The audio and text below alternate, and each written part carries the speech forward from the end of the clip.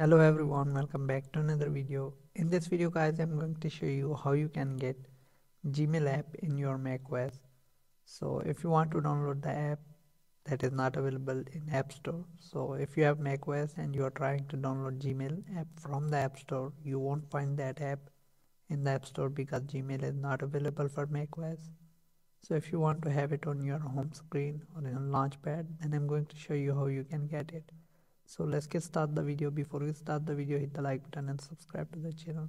So first of all you have to download google chrome browser in your mac os so if you don't have one you can go to safari browser and search for chrome.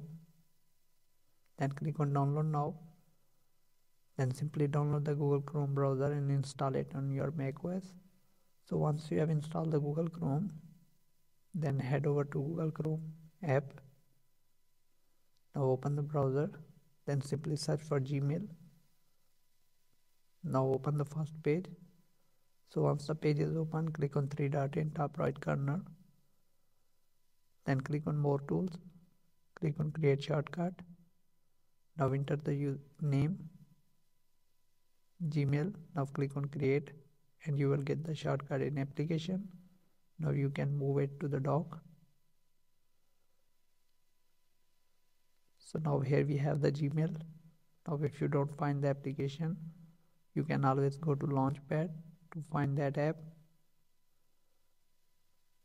So as you can see here is the gmail.